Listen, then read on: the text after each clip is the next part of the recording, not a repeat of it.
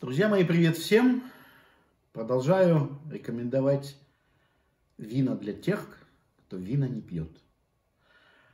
Вот согласитесь, среди ваших знакомых тоже есть люди, которые говорят, ну как вы можете пить эту кислятину, это же невкусно, это горько, терпко. То есть, типа, не пьем.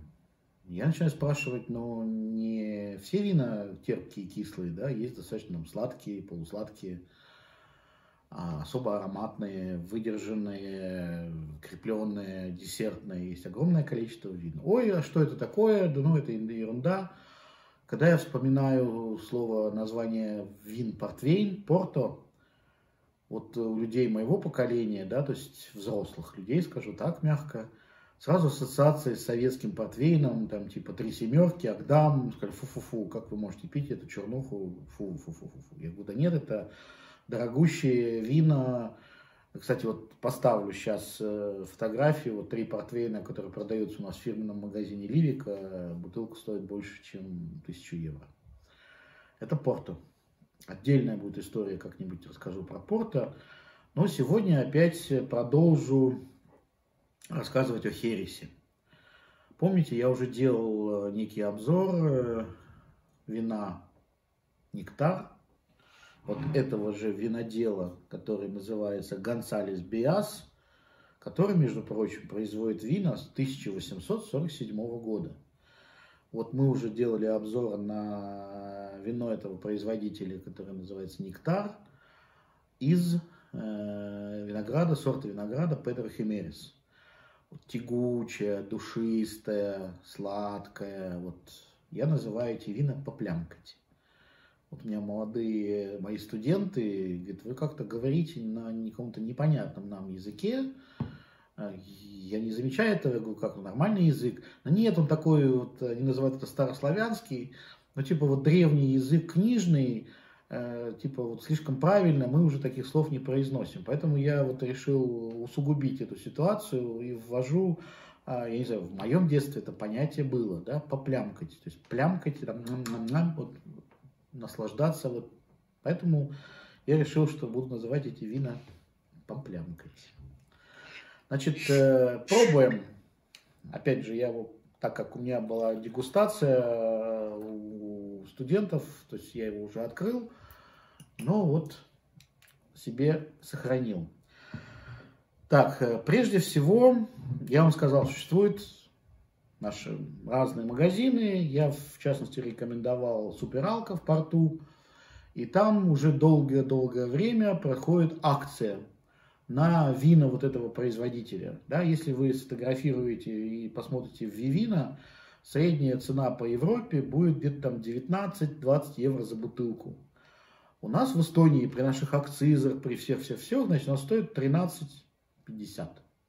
Причем вся линейка. А линейка хересов – это хересные дрожжи, это белое вино, которое, в котором возникает значит, пленка хереса, флер, который дает особую ароматику. Опять же, отдельная-отдельная история, уже рассказывал, буду рассказывать отдельного производства хереса. Но вот там линейка вот есть это самый сухой в нашем простонародном понимании, самый кислый но душистый зеленое яблоко, такой ароматный херес, это фино, как раз вот там, где появляется эта пленка. И все остальное, как бы это хересы уже с остаточным сахаром. И как бы вторая, как бы крайняя категория, это вот тот самый нектар, который мы с вами пробовал, но он очень сладкий, но он очень приятный, он вот дымный, вот просто супер, да. А все остальное, вот там существует Кристина, опять же, смотрите за картинками, и вот э, решили, что давайте попробуем крем. В категории хересов э, крем, понятие крем встречается довольно часто. А это, опять же, не максимальное, а такое среднее содержание остаточного сахара.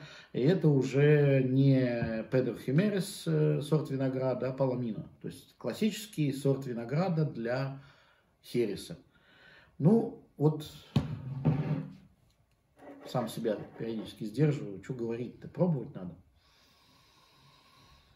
А, но опять вот ввожу, вспоминаю это прекрасные слова, кишмиш, изюм, курага. правда, вот э, финики, то есть такой вот сладкие сухофрукты, Азия, Восток, аромат. Здесь есть, э, я не знаю, нотки вот всего-всего, но здесь уже нет вот этой копчености, нет дымности. Ну и по как бы составу, естественно, он немножко жиже, чем нектар. Хотя вот если вот вы посмотрите на как бы ножки, да, то есть они такие густые, тягучие, медленно стекающие. То есть, э, опять же, здесь, э, учитывая, что херес у нас скрепленное вино, значит, 18 да, 18 градусов. Классический херес. Солера, 1847 год. Значит, солера – это некий способ хранения хереса. А, это помещение, как правило, в металлической как бы, оболочке, большие ангары, склады с, с металлической поверхностью, в которых хранятся бочки в несколько рядов – и вот холодно, жарко, то есть там достаточно большая температура, происходит некая такая выдержка вина в таких условиях.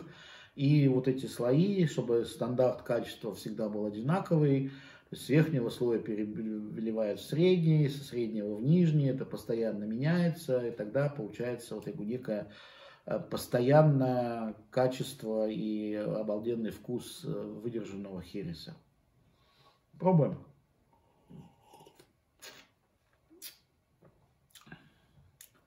Ну вот он уже, знаете, такой не сильно, не сильно сладкий, понятно. У него уже есть некая такая легкая кислинка. Я вот сейчас заметил вот какой-то такой вкус чая, сладкого чая. Сладкого холодного чая такого, с большим содержанием сахара какая-то, не знаю, карамелька. Ну, опять же, да, я обещал вам не грузить э, своим опытом э, вкусов и ароматов. Вот пробуйте его вы. То есть, опять же, для тех, кто жаловался в первом варианте, в варианте нектара. Вот это тягучее, это очень сладко, типа больше там, глотка не выпьешь. Во-первых, больше не надо, вот это вот коньячная классическая правильная рюмочка дегустационная. Вот вечерком опять же, под сериальчик, под хорошую, кстати, под сигару том числе. То есть вот некий такой десерт, когда хочется чего-то вот такого вкусненького. Вот это вкусненькое.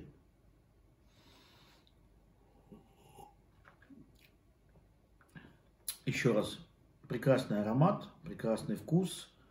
Искренне, искренне вам рекомендую, если у вас есть такая финансовая временная возможность, вот сходите в этот, может они есть в других супералках тоже, но я его брал в порту, вот там есть линейка этого производителя, еще раз, значит, Гонсалес Биас, известный хороший производитель, очень много информации найдете о нем в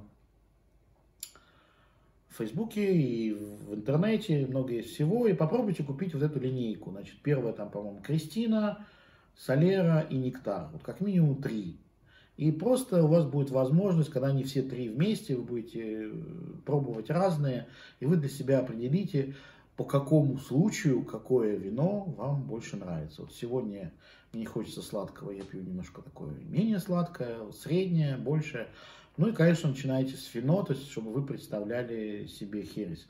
Еще раз возвращаюсь к вопросу о том, зачем я все это затеял устал и много слышал информации о том, что вот, нет, мы пьем водку, мы пьем виски, мы пьем коньяк, а вино вот как-то не наше. Еще раз хочу сказать, что вино бывает разное. Если вам не нравятся сухие кислотные вина, есть э, другая альтернатива, есть огромное количество, опять же, хересов, есть огромное количество Порто, есть Мадейра, есть, э, я не знаю, там другие крепетные десертные вина. Там, кстати, сейчас тоже идет очень хорошая цена на такай, на такайское вино. И выдержаны эти путоны, там до 5 путонов, то есть очень сладкое. Значит, есть какие-то рислинги, которые Берен Аузе, вот есть Трокенберен Алзе, да, это как бы время сбора, ягодной сбора рислинга в Германии. То есть там маленькие бутылочки стоят они у нас прилично. Айсвайна я не нашел. То есть они, я про то, что они сладкие. Даже тот же рислинг кабинет, он же немножко слаще. Аузе еще слаще. Я про то, что не надо отказываться от, вот я вина не пью, все, типа, забываем. Просто вы не нашли то вино, которое вам нравится. Вина бывают не только сухие, не только как бы кислотные, да, бывают очень хорошие, бывают очень сладкие, которые даже люди жалуются, говорят, фу, сладко. Вот что-то нейтральное, то есть ароматное, приятное. Здесь, кстати, появилась, сейчас она постояла, вот та самая сигарная коробка, хумидор, то есть коробка из-под сигар. Какая-то такая старая кожа, такой благородный, хороший напиток. Не крепкий, но в том числе не, не, не, не кислотный, не сухой. Рекомендую еще раз. Пробуйте, ходите, открывайте для себя хорошие вина. Всем здоровья!